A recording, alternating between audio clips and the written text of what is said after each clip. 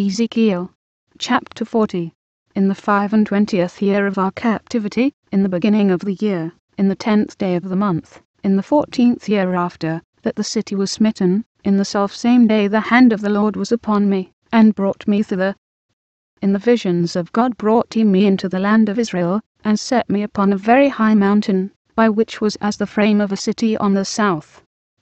And he brought me thither, and, behold, there was a man, whose appearance was like the appearance of brass, with a line of flax in his hand, and a measuring reed, and he stood in the gate. And the man said unto me, Son of man, behold with thine eyes, and hear with thine ears, and set thine heart upon all that I shall shew thee, for to the intent that I might shew them unto thee art thou brought hither. Declare all that thou seest to the house of Israel.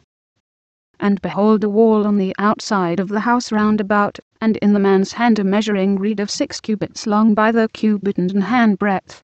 So he measured the breadth of the building, one reed, and the height, one reed. Then came he unto the gate which looketh toward the east, and went up the stairs thereof, and measured the threshold of the gate, which was one reed broad, and the other threshold of the gate, which was one reed broad and every little chamber was one reed long, and one reed broad, and between the little chambers were five cubits, and the threshold of the gate by the porch of the gate within was one reed. He measured also the porch of the gate within, one reed. Then measured he the porch of the gate, eight cubits, and the post thereof, two cubits, and the porch of the gate was inward. And the little chambers of the gate eastward were three on this side, and three on that side, they three were of one measure, and the posts had one measure on this side, and on that side. And he measured the breadth of the entry of the gate, ten cubits, and the length of the gate, thirteen cubits. The space also before the little chambers was one cubit on this side, and the space was one cubit on that side. And the little chambers were six cubits on this side, and six cubits on that side. He measured then the gate from the roof of one little chamber to the roof of another, the breadth was five and twenty cubits, door against door. He made also posts of threescore cubits, even unto the post of the court round about the gate. And from the face of the gate of the entrance unto the face of the porch of the inner gate were fifty cubits. And there were narrow windows to the little chambers, and to their posts within the gate round about, and likewise to the arches. And windows were round about inward, and upon each post were palm trees. Then brought he me into the outward court, and, lo, there were chambers, and a pavement made for the court round about. Thirty chambers were upon the pavement. And the pavement by the side of the gates over against the length of the gates, was the lower pavement. Then he measured the breadth from the forefront of the lower gate unto the forefront of the inner court without, an hundred cubits eastward and northward. And the gate of the outward court, that looked toward the north, he measured the length thereof, and the breadth thereof. And the little chambers thereof were three on this side and three on that side, and the posts thereof and the arches thereof were after the measure of the first gate. The length thereof was fifty cubits, and the breadth five and twenty cubits. And their windows, and their arches, and their palm trees, were after the measure of the gate that looketh toward the east, and they went up unto it by seven steps, and the arches thereof were before them and the gate of the inner court was over against the gate toward the north, and toward the east, and he measured from gate to gate an hundred cubits. After that he brought me toward the south, and behold a gate toward the south, and he measured the posts thereof, and the arches thereof according to these measures. And there were windows in it, and in the arches thereof round about, like those windows. The length was fifty cubits, and the breadth five and twenty cubits and there were seven steps to go up to it, and the arches thereof were before them. And it had palm trees, one on this side, and another on that side, upon the posts thereof. And there was a gate in the inner court toward the south, and he measured from gate to gate toward the south an hundred cubits.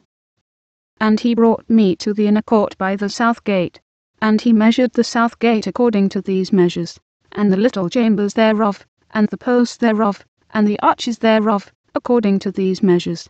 And there were windows in it, and in the arches thereof round about. it was fifty cubits long, and five and twenty cubits broad. And the arches round about were five and twenty cubits long, and five cubits broad. And the arches thereof were toward the utter court, and palm trees were upon the posts thereof, and the going up to it had eight steps. And he brought me into the inner court toward the east, and he measured the gate according to these measures. And the little chambers thereof, and the posts thereof, and the arches thereof, were according to these measures. And there were windows therein, and in the arches thereof round about, it was fifty cubits long, and five and twenty cubits broad. And the arches thereof were toward the outward court, and palm trees were upon the posts thereof, on this side, and on that side, and the going up to it had eight steps.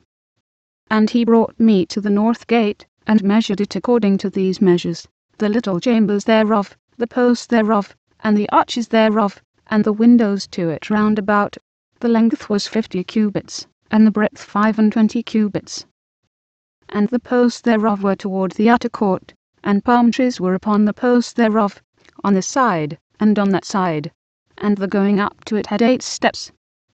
And the chambers and the entries thereof were by the posts of the gates, where they washed the burnt offering.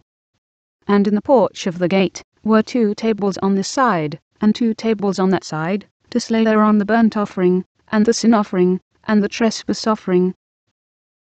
And at the side without, as one goeth up to the entry of the north gate, were two tables, and on the other side, which was at the porch of the gate, were two tables.